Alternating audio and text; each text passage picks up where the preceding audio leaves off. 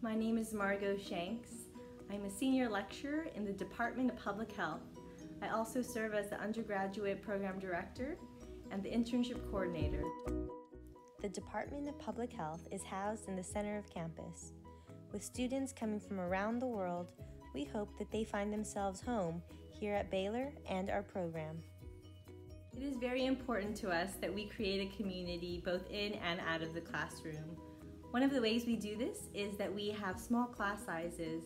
This allows for us as instructors to get to know our students on a one-to-one -one basis. Not only who they are and what their names are, but what their passions are. We have also adopted a cohort model. In this model, students go through a series of core classes together. This model is great not only for classroom instruction and discussion, but it often leads to strong relationships among classmates. It's one of my greatest pleasures to see those relationships formed throughout the year. Not only are we intentional about our classroom communities, we're also very passionate about the communities we serve. Many of our assignments, projects, and experiences often include partnerships with local organizations. Our Intro to Public Health course provides an opportunity for students to be in the community in their first semester as a major. Our students are tasked with creating a health fair for a local nonprofit called Church Under the Bridge. Students are responsible for creation of various educational booths, and many students have reported that this is their favorite experience of the whole program. Being in the Waco community is a high priority for us. You can find us working with the Family Health Center, the Waco McLennan County Public Health District, and many other nonprofits in the community. Because of these relationships, we're often able to place students in these community settings for projects, assignments, internships, and practicums.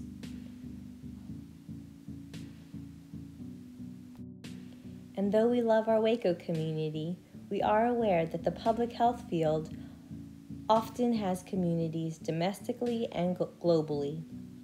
Our faculty are involved in research, projects, and education throughout the world. While some are speaking at the UN, others are doing research in Africa. You can find our study abroad program in Brazil every summer, or you can join us on a mission trip to the Dominican Republic or Africa information that happens, that, that the people give out, and especially for the girls here and the guys, they're all really friendly, very helpful.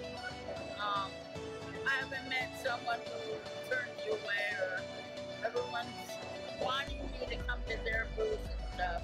That's what I like about it. See what's going on. See what see what uh, see what's giving back to the community. Yeah. Uh, see what the uh, the young crowd, the young nation is doing towards uh, not only fulfilling their their, uh, their achievement in life, but to, just to see the joy and happiness that what y'all bring to help the community in life. The one word I would use is the word that I love that they use in Harry Potter. Brilliant. Overjoyed. Um, exciting. I think it's pretty awesome. Um, the word that I would use to describe this experience is gratifying. Surprising. Eye-opening. Eye-opening. Positive. Different. Unique. It's completely worthy. Share. Exciting. Humbling. Friendship. Fairness. Happiness. Community. Heartwarming. Grateful. Love. Inspiring. Fulfilling. Life-changing.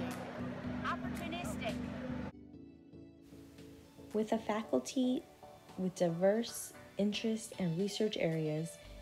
This provides students an opportunity to connect with professors who have similar interests.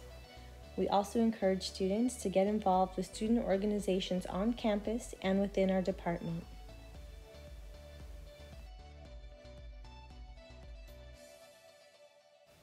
The Department of Public Health will not only provide you with a quality education and unique learning experiences, it will be a community where you will be seen and known. So come, join the public health family, and sick 'em bears.